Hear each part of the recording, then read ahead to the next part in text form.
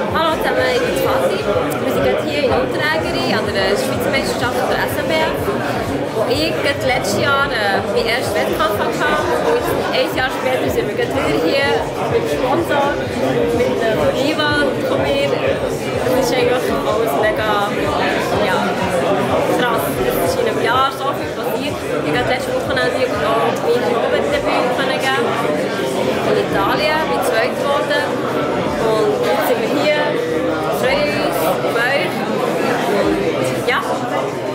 Christmas.